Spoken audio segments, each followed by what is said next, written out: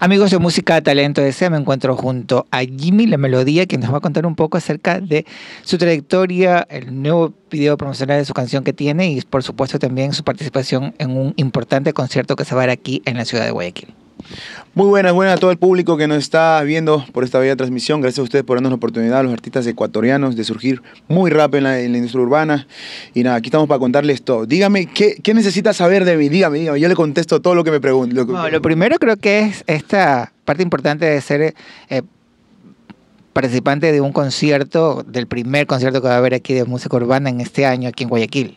Claro que sí, esto va a ser el 28 de enero en Dinton Fest, así se llama el, concierto. Va a estar Ángel Dior, va a estar Noriel desde República Dominicana Puerto Rico, los chicos de por allá.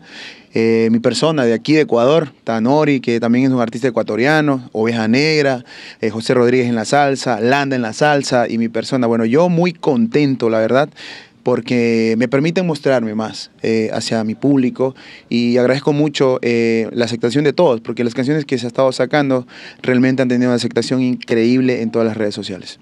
Cuéntanos un poco desde cuándo estás incursionando en esto del género urbano. Yo llevo con este proyecto dos años. Un año me demoré en, componer eh, un álbum y eh, el año pasado arrancamos con, el álbum a soltarlo mes a mes, ¿no? Por ahí en noviembre y diciembre tuve un, poquito de, conflictos porque salió el mundial y me tocó hacer una canción para el mundial. Y bueno, nos eliminaron, pero está bien, igual tuve reproducciones. y de ahí salió, salió, este, vino Navidad y me tocó hacer también una canción de Navidad y, bueno, como que se retrasó un poco. Ahora mismo, ahora el 24 de enero, este, yo voy a terminar de lanzar mi álbum, son dos canciones más que me quedan para poder cerrar mi álbum Éxtasis, perdón, que así se llama. Este, y vengo con dos canciones buenísimas, así que espérenla el 24 de enero, 8 de la noche, por mi canal de YouTube. Chévere. Y aparte de eso, ¿qué otras novedades tienes para el 2023? Te comento, eh, yo ya tengo de mi próximo álbum, eh, yo ya tengo cuatro canciones listas, me faltan dos más eh, y me voy a demorar dos meses en no lanzar canciones. Tengo una canción que se llama, la hicimos para revolucionar la industria, así, así es como yo digo, es un pasillo urbano. Esta canción la hice con, con, con Saize, ellos nos apoyaron muchísimo y creyeron mucho en nuestro talento, tanto de mi equipo y, y mi persona, pues, ¿no?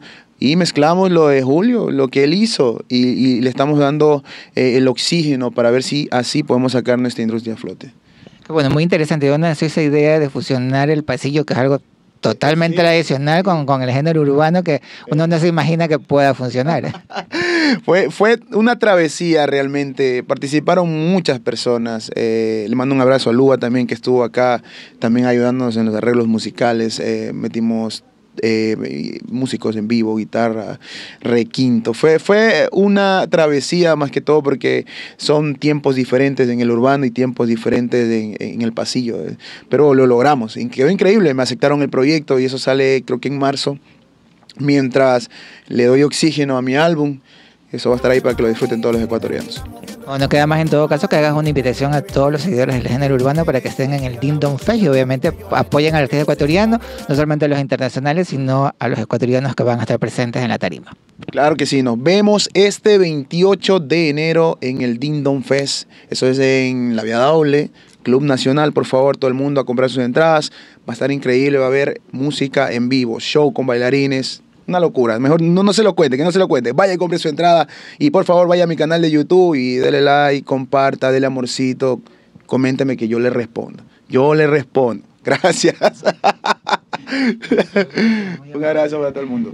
De Colombia, pero vine a Medellín. Hice mucho para venir a buscarte. Es que seguro y esa carita, mami, no se encuentran bien en todas partes.